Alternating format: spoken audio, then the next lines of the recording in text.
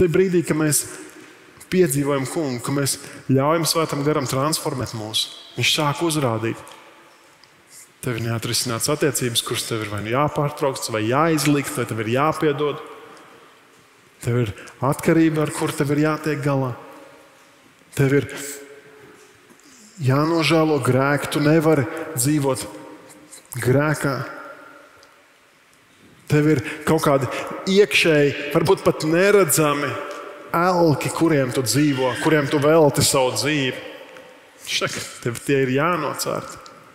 Un tie jāpadara par malku tam, lai tu varētu upurēt Dievam.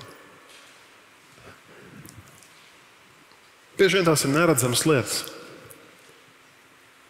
Bet tikai tad, ja mēs esam spējīgi uzticēties Dievam un attīrīt savu dzīvi, Viņam par godu, tad mēs esam arī gatavi iet un uzņemties kaut kādu iniciatīvu, saņemt drosmi un rīkoties, lai mainītu šo pasauli.